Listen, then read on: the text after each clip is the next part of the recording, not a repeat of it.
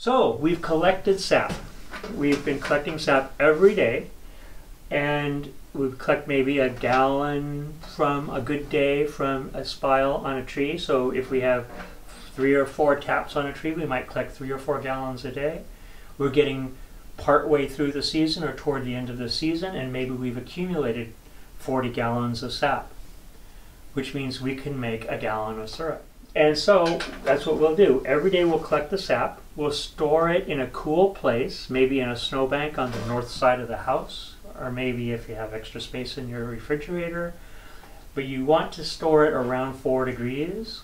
You don't want it to really get over 10 degrees because there are bacteria which will eat that sugar and create some slime in the sap, and that can give off flavor to the syrup if there's a little bit of bacteria, a little bit of slime in there, it's not going to hurt anything.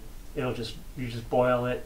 But if there gets to be a lot, it will reduce the sugar content and also introduce off flavors. So you do want to keep your sap cool until you boil it down.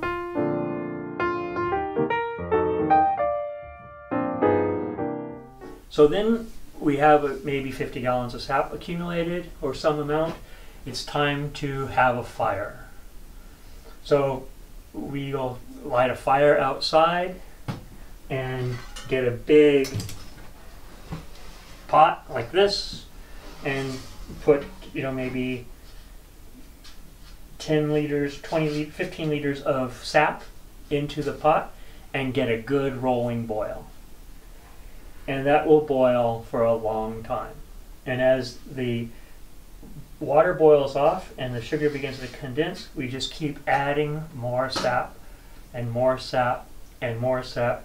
And this process will probably take all day. So it's you have to find a nice day when you're not gonna you're gonna sit around, watch the fire, maybe prune some trees, do something, but you can't really leave it for very long. You have to stay around the fire and, and constantly monitor it every 15 minutes or so. You have to see where your sap is boiling, keeping it boiling all day long. And then we'll want to boil it until the concentration of that sap gets from 2.5% sugar to 66% sugar. 66% sugar is kind of a magic number because it's a level that fungus and bacteria is unlikely to grow in the, in the syrup. if you only boil it down to 35 or 40 percent, bacteria will invade. But you get the sugar level high enough, and it's pretty stable. But it takes a lot of boiling to get to 66 percent.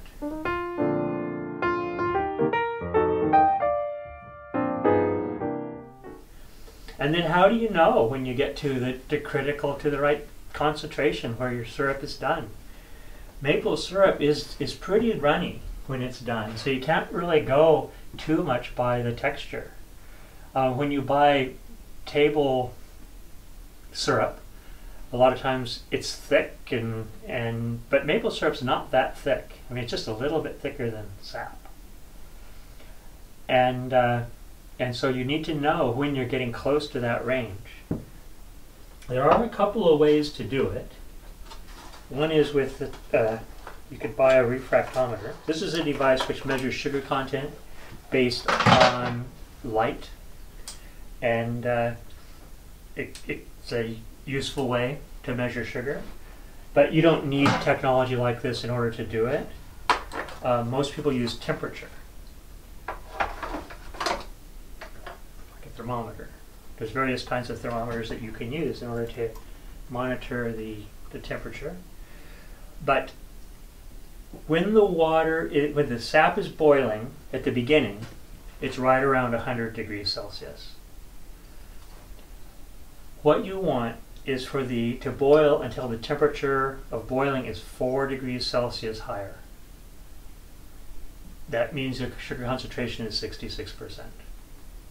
So you monitor the temperature of the, of the boiling sap until the temperature begins to rise. So it will stay at 100 and, or 101 for like hours and hours and hours. And then when you get between 101, 102, 103, 104, it's like all of a sudden. As the concentration, as it concentrates, the temperature is rising very, very, very slowly. And all of a sudden, when you're almost there, it rises very, very fast. So when you think you're getting close to the concentration you need to be, you need to pay a lot of attention to the boiling point. Up until that time, for six hours of the day, you can sit by the fire, you can have a glass of wine, you can eat a hot dog, you can do whatever by your fire. But at that last critical moment, you really have to pay attention to the boil.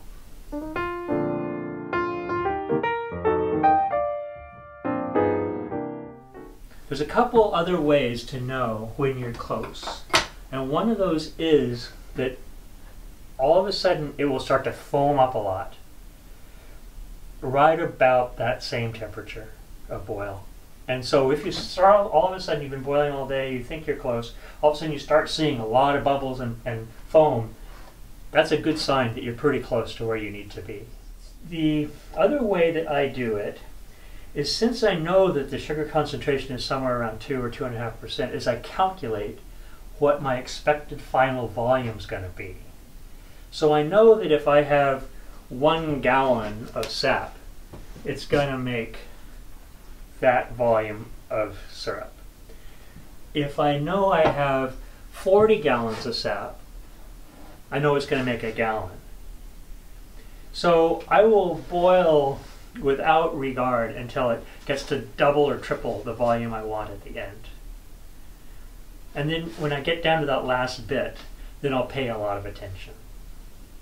In fact, when I get down to that last 50%, when I'm going from 30% sugar to 60% sugar, I'll probably take it off the fire and I'll go inside and I'll do that final boil on the stove where I can really pay attention to it. I'm only going to be boiling off a little bit of water. And it's much easier to control on the stove than on the fire. But usually if I'm making a bunch of syrup, I don't do it in the kitchen at the beginning because I'm trying, I'm going to boil off 40 gallons of water. And then the wallpaper will fall off my walls. That's happened to people I know. Mm-hmm. So, so that I start out outside, and boil off most of the water outside, and then just that last doubling of the concentration I do inside.